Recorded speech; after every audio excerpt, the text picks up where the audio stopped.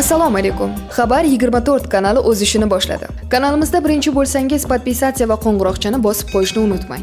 Bugun dasturimizda checheniston rahbari ramzan qodirov o'zbekiston prezidenti va xalq haqida o'z fikrini bildirdi. O'zbekiston iroq o'yini vaqtida jurnalist va tasvirchini organ xodimlari do'pposlagani ma'lum bo'ldi. Aqshda qurolga egalikka qarshi namoyishlar bo'lmoqda.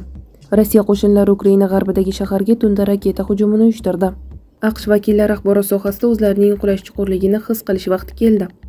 Nato bosh kotibi tinchlik uchun ukrainaga hududiy yon berish imkoniyatini tan oldi. G'arbning kiyevga yetkazib bergan qurol yarog'lari ombori yo'q qilindi. Rossiya ukrainaning bosib olingan shaharlarida jiddiy ishni boshladi. Endi esa shu va boshqa xabarlar tafsiloti bilan batafsil xabar 24 kanalda kuzatib borishingiz mumkin. Assalomu alaykum aziz yurtdoshlar. Moskva podmoskva shahrida yashaydigan vatandoshlarimizga registratsiya продление трудовой договор ходайство медицинский spravka shunga o'xshash dokumentlar kerak bo'lsa bemalol bizga murojaat qilishlari mumkin batafsil ma'lumotlarni bemalol telefon qilib so'raverasizlar sakkiz to'qqiz yigirma olti nol qirq to'rt o'n bir o'n bir meni ismim dilmurod bemalol telefon qilib murojaat qilib so'rashinglar mumkin checheniston rahbari ramzan qodirov o'zbekiston prezidenti va xalq haqida o'z fikrini bildirdi.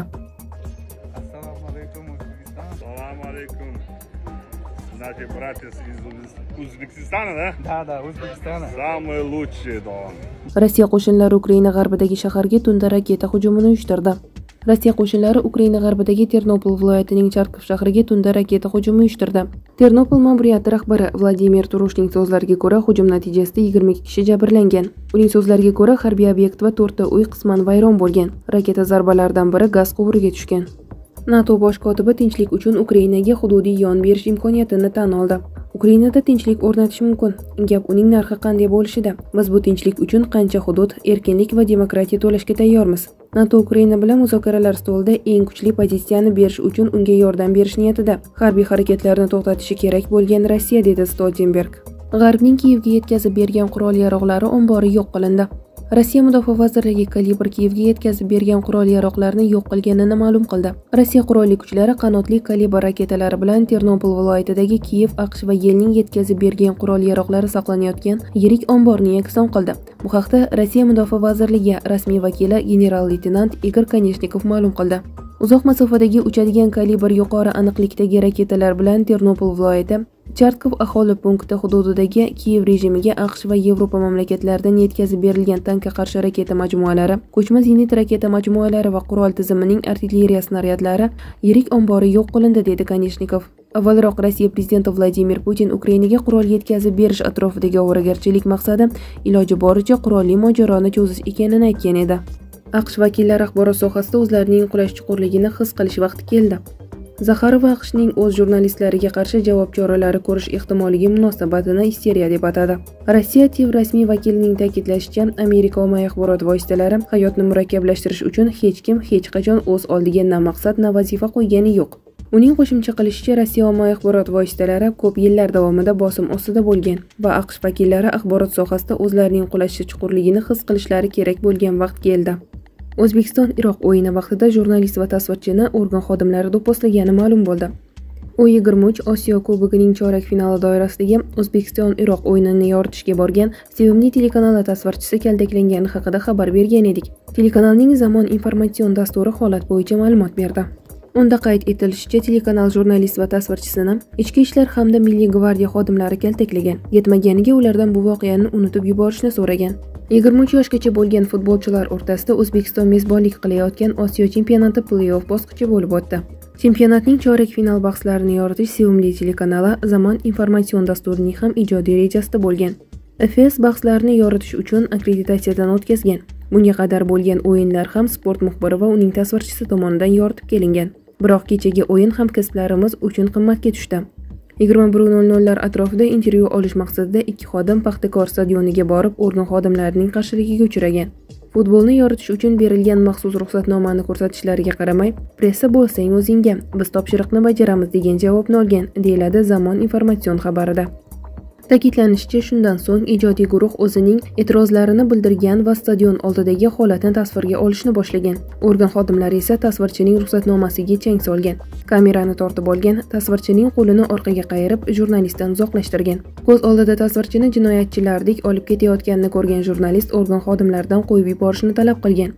Xodimlar esa uning ham qo'llarini qayirib mikrofon va ruxsatnomasini tortib olgan. Jurnalistning rasmi tushirilgan ruxsatnomani esa oyoqlari bilan bosib tashlagan deyiladi xabarda. Jurnalist paxtakor stadioni oldida sodir bo'lgan voqeani so'zlarkan tasvirchi bir guruh organ xodimlari tomonidan ayovsiz do'pposlanganini urg'ulagan. Tasvirchi bo'lgan voqea haqida gapirar ekan do'pposlash vaqtida organ xodimlari unga elektroshoker qo'llaganini. Agar nimjonroq odam bo'lsa buncha kaltaklashdan keyin o'lib qolishi ham hech gap emasligini ta'kidlagan. Shifokor unga jag' ishlanishi tashxisini qo'ygan. Qayd etilishicha tasvirchi kasalxonaga olib kelingandan keyin jurnalist kamera shtativ mikrofon va ruxsatnomalarni qaytarib berishni so'ragan.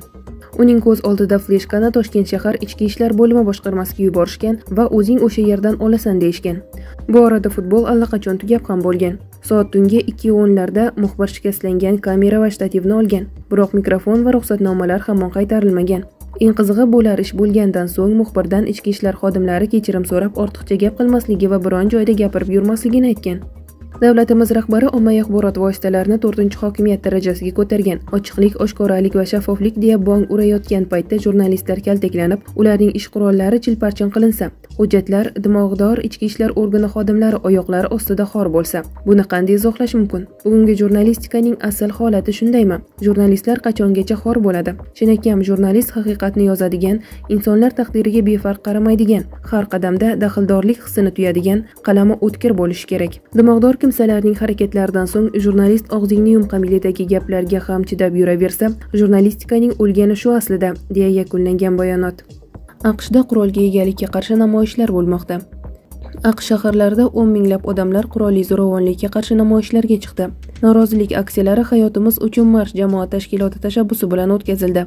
Guruh 2018 yilda florida shtatining perklend shahridagi o'rta maktabda yuz bergan ommaviy otishmadan omon qolgan o'quvchilar tomonidan asos solingan namoyishchilar hukumatdan mamlakatdan qurol sotishni cheklashni talab qilmoqda. Bugun to'rt yil o'tib o'sha joyda bo'lish men uchun juda qiyin chunki biz hali ham buni qaytadan boshdan kechirayotganimizga ishonmayman. Nimadir o'zgarishi kerak. Bu safar haqiqatdan ham nimadir o'zgarishi uchun duo qilaman lekin umid qilish qiyin. Amerikaliklarning sakson foizidan ortig'i to'g'ri siyosatni qo'llab-quvvatlaydi. Shuning uchun bizning saylagan vakillarimiz bizni tinglashlari kerak. Keyin umid qilamizki biz kelgusi bir necha hafta ichida qandaydir harakatlarni ko'ramiz deydi namoyish qatnashchilari. O'tgan chorshanba kuni demokratlar nazoratidagi vakillar palatasi yarim avtomatik miltiqlarni sotib oluvchilar uchun yosh chegarasini oshirish va 15 o'qdan ortiq o'q otish sig'imi bo'lgan o'qdonlarni sotishni taqiqlovchi qonun loyihasini ma'qulladi. Biroq bu tashabbus respublikachilar pozitsiyasi tufayli aqsh kongressi senatida yetarlicha qo'llab-quvvatlanmasligi taxmin qilinmoqda. Rossiya ukrainaning bosib olingan shaharlarida jiddiy ishni boshladi. O'rtasida birinchi avtomobil ko'prigi ishga tushdi bu haqda tass xabar berdi mazkur obyekt rossiyaning blagoveshensk shahrini xitoyning xeyxe shahri bilan bog'laydi yo'lning tantanali ochilish marosimi video translyatsiya rejimida bo'lib o'tgan. Tadbirni pekin moskva va vladivostokdan ishtirokchilar kuzatgan. Ko'prik ochilgach darhol yuk tashish yo'lga qo'yildi. Rossiyaning suyultirilgan gaz bilan ishlaydigan sakkizta yuk mashinasi xitoyga jo'nadi. Xitoy tomonidan ham yangi post orqali rossiyaga turli xil yuk bilan bir necha transport vositasi kirdi.